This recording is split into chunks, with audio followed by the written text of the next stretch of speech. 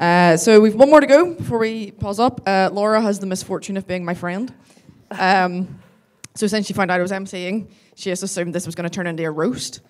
Um, but that's not what today's about. So instead, I'm just going to embarrass her a little bit and let you all know to congratulate her because Laura got promoted last month. Yep, very well deserved. Um, so I'm, I'm promise not going to say anything else. So yeah, Laura is going to talk to us about something I definitely want to learn about because I am a lazy engineer and how to make things better. And uh, we can say we know Laura's definitely an impressive engineer because more than anyone, she has to do it with broken fingers. So I'll just end on that. Uh, hi, Laura, hi, folks. Uh, as Danielle said, my name is Laura Kelly. Uh, just to check, everybody can hear me okay? Perfect. Um, the context around the broken fingers is the fact that I'm a goalkeeper and I break my fingers regularly throughout the year, which, as a software engineer, you can imagine is not very useful. But um, I'm here today to talk a little bit about operational health, and I'm the lazy engineer whose guide this is. Uh, I'll get a little bit. I'll talk a little bit more about that later on. But I'll start off just first of all about why do I personally care about operational health. So I have to explain this reference, I think, because not a lot of people know who Smokey the Bear is. Smokey the Bear was it was a long-running US campaign about uh, only you can prevent forest fires. Um, but I'm here today to say that only you can prevent customer escalations and outages. Um, so, so many customer events and outages are so preventable and they're repeatable. And the biggest issue is the fact that they escalate beyond their original scope. The biggest culprit there is a lack of visibility into operational health. It nothing annoys me quite as much as seeing an alert come up and come up again and come up again. I'm like, why has this not been fixed? So this is why I particularly wanted to talk about this today. So we have a weekly um, operational metrics meeting as part of our team, and it's between about four or five different teams in work. And what we found is the services that were going down the most often were the services had the least visibility. They were the services that were bringing in the most SIs, the most customer support tickets, and producing the most defects. It's a, an issue that's completely related and it's all intrinsically comes back to operational health. So this is probably a more appropriate title to my talk over um, a lazy engineer's rant on the importance of operational health and monitoring your stuff. There's a different S word I could use there. Um, but this is normally the last slide of a talk, but it's my turn to ask you some questions today. So I want just a, a show of hands. Who here is a stakeholder of code deployed in the cloud right now? Sweet, we've got a good few people. How is that code performing? I don't need you to answer out, I just want you to think about this. How is your code performing right now? I'm well aware of the fact that this is a Saturday, nobody has their work laptops in front of them, but if I asked you this question at about half 10 on a Monday morning, would you know the answer? How long would it take you to find that answer out? Where are you going to look for that information? If you have a Lambda deployed in the cloud, Chloe already talked about Lambdas today, how many invocations are you getting per day? What's the average length of your invocation? How many errors are you getting? If you have a Kubernetes service or cluster running right now, how many nodes, how many pods do you have running? If you have gateway traffic, what's your ingress look like? What's your distribution of traffic? What's it look like throughout the day? Um, anybody here who's in database management, do you have any replicas up right now? What's your memory usage look, look like? For any services you have running in general, what does your CPU and memory usage look like? How many errors are you getting per day? These are all questions that if you're a stakeholder in the code in the cloud, you should know the answer to these. And if you're in work and if I ask you that question, really you should know that answer within two to three minutes. So many people, if you ask them that question, they're like, I'll get back to you in half an hour, which no harm is not good enough. So I want to go into understanding operational health first of all. So the purpose of operational help is to define, capture, and analyze metrics to gain visibility into operational activities so you can take appropriate action. There's a lot to unpack there. We'll go through it step by step. So first of all, I want to talk about operational activities. So what actually are operational activities?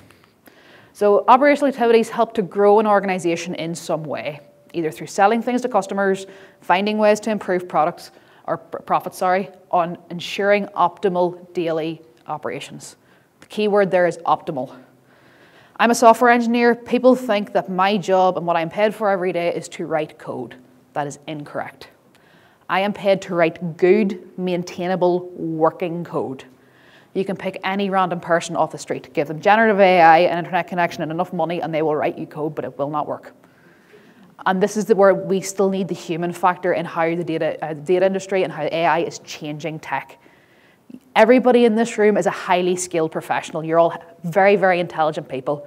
You have a wealth of experience and knowledge and expertise that are why your companies pay you for your job.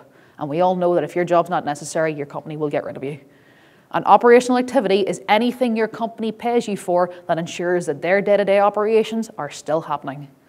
So I want you to think about that. Keep in mind what do you do every day? Are you in project management? Are you working with teams? Are there deliverables you're keeping track of? If you're an engineer, what infrastructure do you manage? How do you keep it healthy? I want you to think about those as we progress through this. So going back to our original definition here, I want to talk about defining metrics now. So defining metrics, what visibility do I want and what do I want to specifically keep track of? So you can't improve what you don't measure. This is kind of already mentioned today. This is a favourite quote of my football manager, generally shouted at me when my hands are on my knees and I'm really ready to throw up because we're doing fitness testing. It's often uh, um, attributed to Peter Drucker, but pretty much it comes down to this. If you can't measure it, how do you expect to be able to improve it? I talked earlier on about optimal daily operations. It's not enough now that code works. It has to be faster, cheaper, more reliable, more robust than ever before. So you have to identify areas for improvement in your code and in any part of your job. How do you do that if you don't have visibility into what's working and what's not working? So what metrics are going to be useful? Depending on your role and depending on your operational activities, these are going to change. But some ideas for you anyway.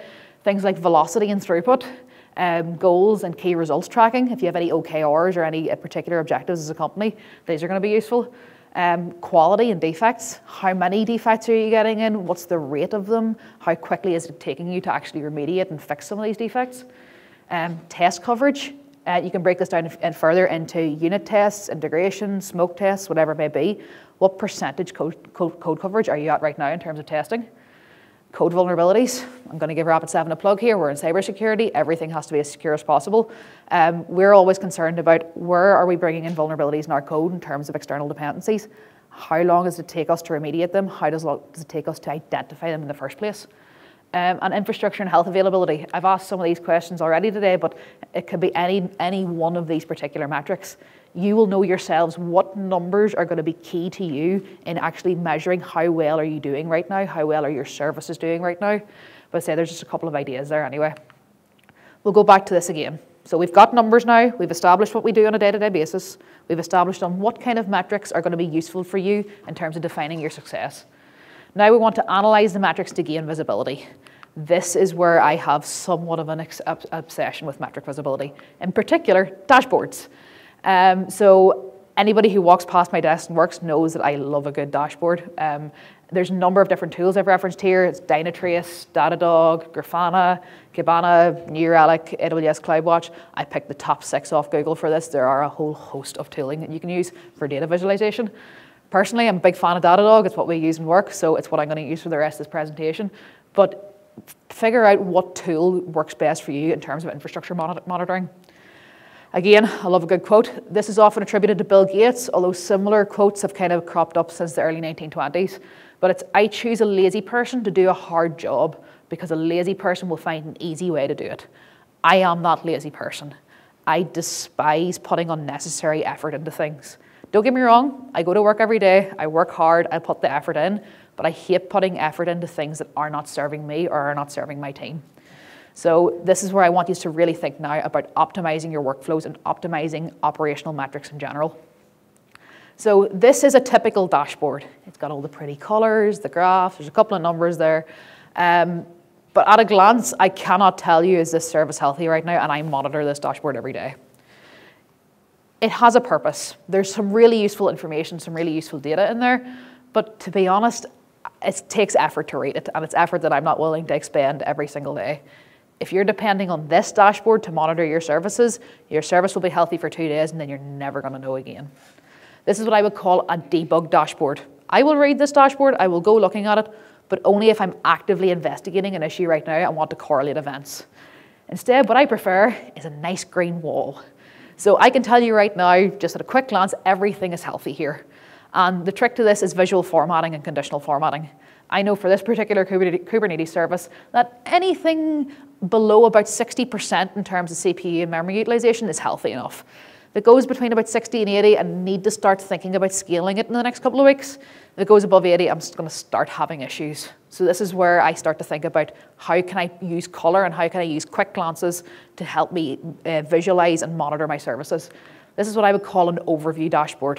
And I have about 30 of these that I look at every single day, and it takes me no more than about two minutes max. So I've already referenced my desk. This is my desk and work. As you can clearly see, Rapid7 are still hot desking by how lived in this is. And I'm going to thank my intern for the party possum in the corner that keeps me um, company every day. But um, I work off my top two main monitors all the time. It's better for your posture, your eye line and whatnot. But I always have my dashboards on my laptop screen in front of me, right in my eye line. And if I have about, and you can kind of see there, even in terms of the Chrome tabs, there's about 30 tabs open there. I have a little Chrome extension that every five seconds a new dashboard appears. And if this is green all the time, great, I have nothing to worry about. I'm never putting active effort into monitoring my services or monitoring what my team owns. It's just a case, is it in my eye line? So I'm going to give you an example of this in terms of like how I then spot where things are going wrong. So going back to this original service, uh, everything's green, it's good, it's fine. Oh wait, it's not. I'm programming away, I'm doing whatever it is my operational activities include, and I see some red out of the corner of my eye. And depending on obviously color blindness and whatnot, you can choose whatever colors you like for this. And I'm going, oh wait, this is something I need to address. I have zero pods running here. I need to go and restart some pods, restart some nodes, check the logs, figure out what's actually happening here. This helps me get ahead of a potential outage and helps me identify where outages are coming in before a customer is telling me where outages are coming in. Um, this is one example of how you can really start to get ahead of the problems and get ahead of any pain that your customers might be feeling and address them as soon as possible. This is a similar dashboard. Again, it's a green wall, but we've got two examples here of how operational metrics and dashboards can really help you. So the first one here is at the top in region four. This is for a DynamoDB uh, table, by the way, where um, we want uh, all of our services to read off the index. We don't want them reading off the main table just because we've done some interesting things with projections. Uh, and I've noticed that there's something here is reading from my main table. This isn't an outage. This isn't something that's affecting customers right now, but this is something that will cause data inconsistency issues. We're in an industry, and there's been a lot of talk about data today already, where data is key. It is so, so valuable. The second that your customers start doubting your data and start having some distrust with your data, is the second that that customer company or customer product relationship starts to break down. So I want to get ahead of this. I want to look at my logs. I want to see who's reading off the main table, reach out to whatever engineer that is and say, look, do you mind reading off the index? This is going to be a lot, a lot better in terms of data consistency for you. This is something that potentially you wouldn't see for days, weeks, months later until a customer comes to you and says, I'm seeing potentially documents that are deleted here when I shouldn't be seeing documents that are deleted. Why is this happening? This is cutting down on, again, customer pain. It's building more customer trust, but it also means that your engineers have less data inconsistency problems to deal with further down the line. It's all about getting ahead of issues before they become problems. Similar with the, the yellow cell that I have here in the bottom right, this is where I'm getting some write throttles.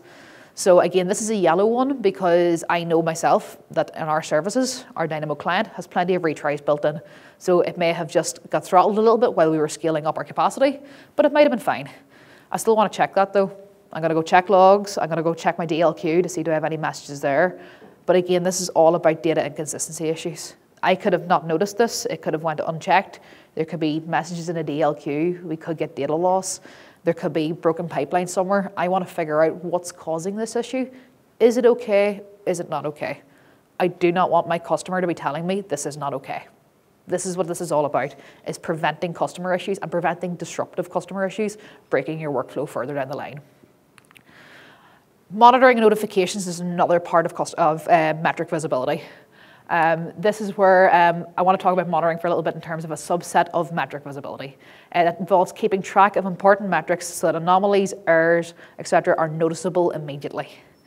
Um, so, for example, whenever I had the uh, one of the previous dashboards up, when I talked about zero pods running, it's really nice to be able to see that on the dashboard. But there's times you're going to be in meetings.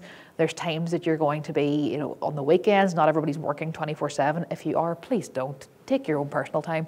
But there's, there's times where you're not actively looking at your dashboards, and there's things you need to know about that a little bit sooner. Um, some examples of this, you could again, you could have messages on a DLQ. Um, there could be a number of uh, pods or instances that goes below a healthy level. Um, you could have scheduled jobs that have failed. Uh, you could have a high number of or high volume of errors in a very short space of time. You could have throttling for gateways or for ingress traffic. And again, you could have memory and CPU usage that is above a, a healthy threshold. These are all things that you kind of want to know about sooner rather than later. There are certain things that, you know, they're fine leaving them to, to deal with, to create a ticket and whatnot. There's other things you need to know about right now. I would like to point out, though, not all monitors need to be immediately disruptive. Immediately visible, yes, but not necessarily disruptive. So this is where I have two examples here where one monitor, I want to know about it soon, but it's okay if I leave it a few hours before addressing it. Uh, the other monitor is one that I want to know about right now and get on top of that as soon as possible. So you have a scheduled batch ingestion job, it can fail in the middle of the night. Um, it's visible, but it doesn't require an immediate disruption or an immediate reaction right now. If a job fails at 3 a.m. and it's fine for me to run it at 10 a.m., I do not want to be called in the middle of the night. I value my sleep far too much for that.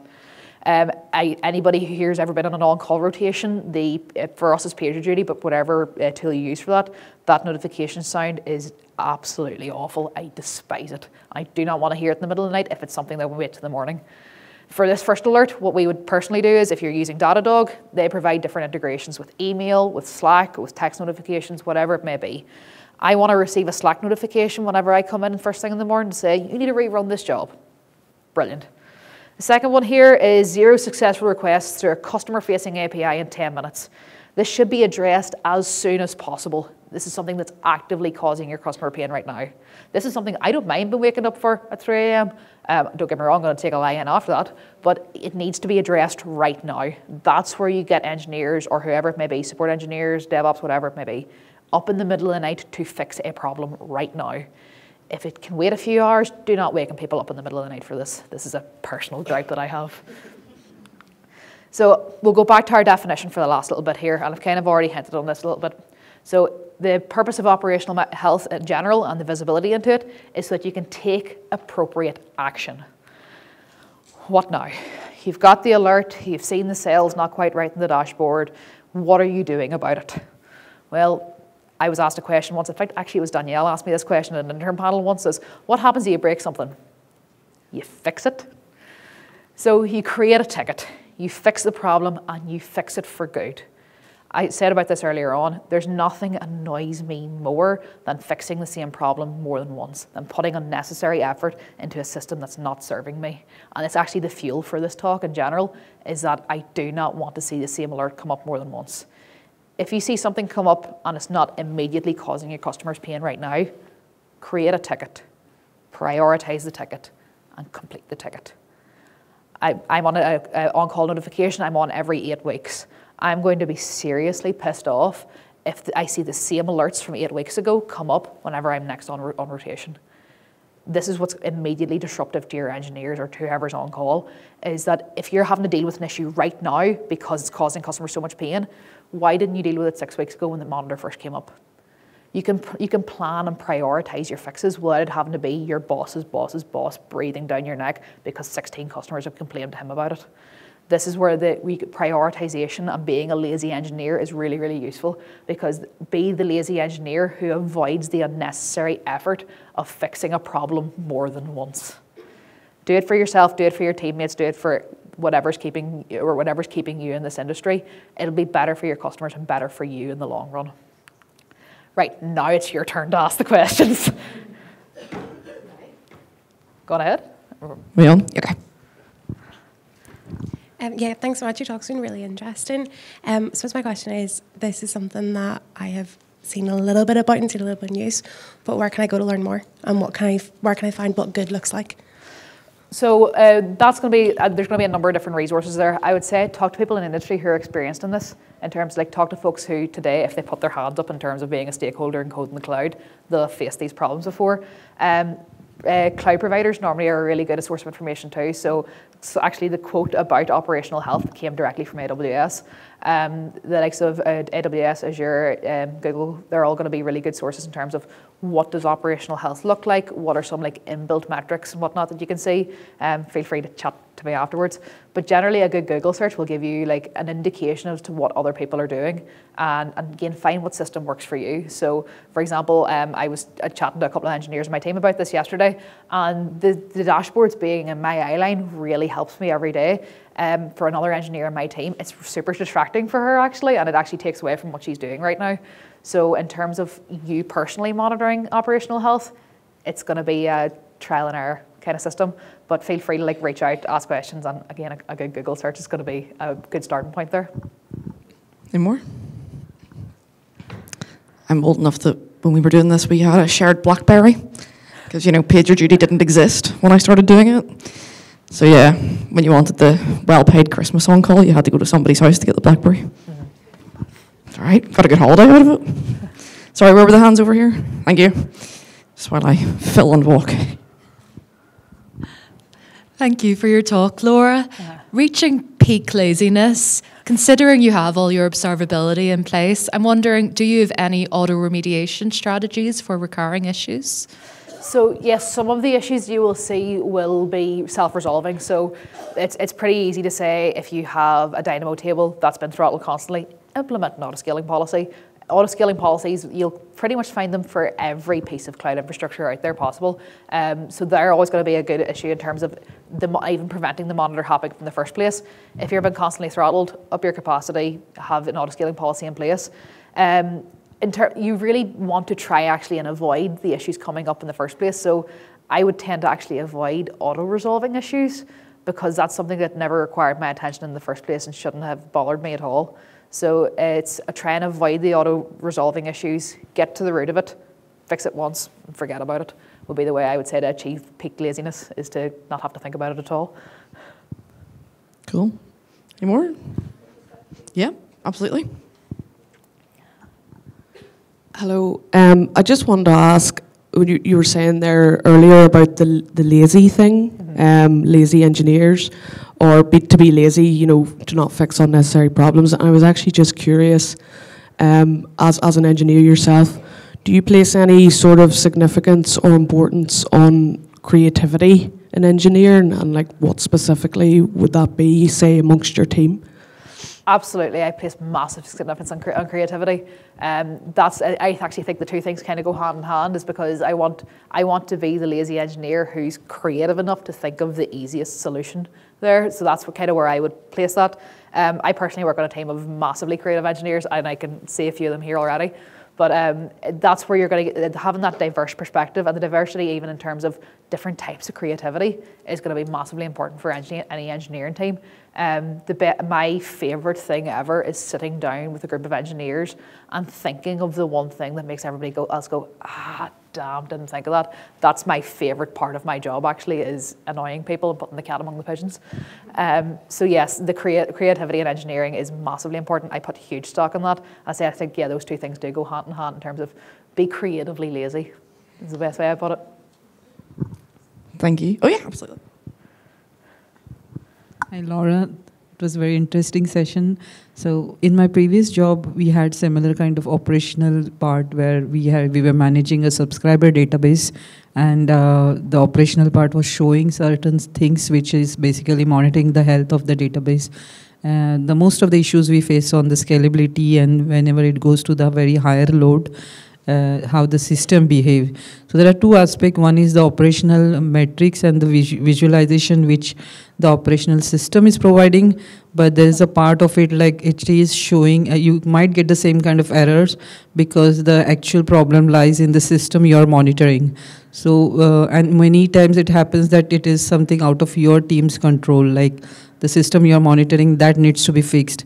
So how do you deal with those kind of scenarios uh, where something is out of your control and uh, you have to deal with uh, those issues in some different forms of errors and uh, the metrics going wrong actually?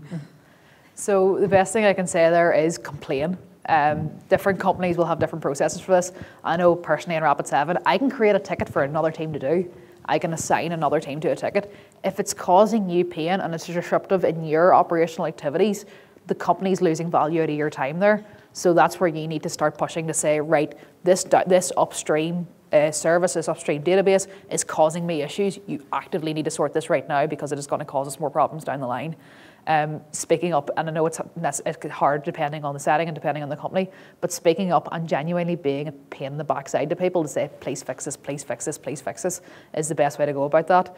But yeah, absolutely, there's going to be times where if, if it is a database and it's getting massively spiky um, traffic, where sometimes you have to take a look and say, right, the, the, the, laziest thing to do here is actually putting in the most work to completely switch out what type of database we're using. You could be going from a SQL database to a NoSQL database. It could be doing an upgrade, whatever it may be.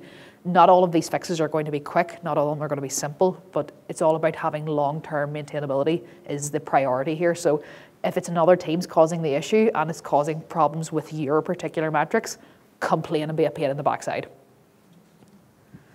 Brilliant. Any more? Weddings. Oh, sorry. I don't mind. Is it Kira? Yeah. You're making me come all the way back down. Is there anybody else up here before I go back down? That's okay. I'll come to you next. All right. Sorry. Uh, I'm, I'm just going to prioritize well this. Last before lunch, everybody wants to eat. I know. So and I said I wanted the steps, but I also want to be practical about them. Yeah. Hi, thank you for the talk. So my question is, like, I'm a big fan of the whole fix problem once, and it's like even if I'm doing QA testing, I'll even go beyond what's listed in the problems. If I see something, I'll still fix it because I know it'll come back in the next round of testing. But what happens if the problem that keeps being repeated is outside of your control? So, for example, I worked recently with like content management systems, mm. and I've had a lot of problems of the client making an issue where they put in the wrong URL link, mm. and I've had the same problem repeated, and then had to go and tell them this is how you fix that. So how do you deal with it if the repeated problems outside of your control? I think it comes down to collaboration. Um, like a big fan of breaking down silos. Um, there's loads of folks in here today from project management, from UX, engineering, quality, um, quality testing, whatever it may be. It's getting talking to folks, and if it's a case that it's a customer putting in the wrong input all the time, that's something that we need to bring to user experience. Say, right, do we need a better documentation? Do we need better tool tips? Whatever it may be. I think the, the great thing about the tech industry is there's no problem that doesn't have a solution. And if it doesn't have one, you build it and you inform it and you guide it that way. So I think it is a case that if it's if it's a customer facing problem, you speak to the customer facing teams to try and prevent that.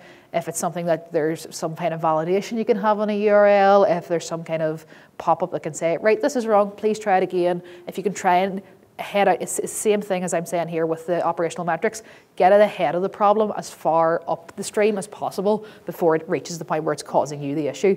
So I think it's just trying to like remove the problem entirely or as again, yeah, talk to your user, your user experience team, to product management in terms of, right, this customer's consistently doing this wrong. Is there a way we can make the product more accessible to them in terms of guiding them in the right, down the right pipeline for us? That would be the way I would go about it. Thank you. You can tell she's a professional. It's a much politer answer than I would have given. All right, I think we're going to the last question because I know I'm hungry. So I'm sure others are too. Okay. Yeah, sorry for holding these back. yeah, I just had a question on like automation in terms of lazy engineer to lazy engineer. Mm-hmm. Um, saving, I guess, engineers having to get up at night to look at alerts. Do you have any common alerts that come up that you have been able to automate or anything on your team? Again, I think it comes down to the fact that I try to avoid the automation and just fixing the problem at the root source. Um, in terms of the whole getting up in the middle of the night thing, obviously, like you know yourself, we work with teams in, in Sacramento and in LA, so they take the middle of the night and I take the middle of their night. But um, I think the like the most common ones that we've seen at the minute is where, say for example, you have two replicas up for a DB and the traffic's going all to one of them. Um, in terms of automating the solutions to these problems, again, I think it comes down to just fix the problem. Don't automate the fix, be the fix. Um, I, I'm a big fan of generative AI. I'm a big fan of automation and anywhere you can have it. People know that I have like um, uh, bash aliases and bash functions for every little thing possible because I do not want to have extra clicks or extra key presses. But I, I think when it comes to operational metrics and automating um, resolutions to things, I want to know about those. I want to have the visibility into what's actually happening in my system so that I'm not surprised six months down the line when a customer's calling me saying, you, you've messed up here. So I think it's, I actually try to avoid the automation and just fix the problem at the root source. Like um, I'd say most people here work for large tech companies that have quite big pockets. Generally, it can be scale something up, provide more instances, throw a little bit more money at the problem. Um, so I think that's part of what I would potentially go for is just fix the problem and don't automate the fix. That makes sense. Lovely. All right. Thank you so much, Laura. Yep.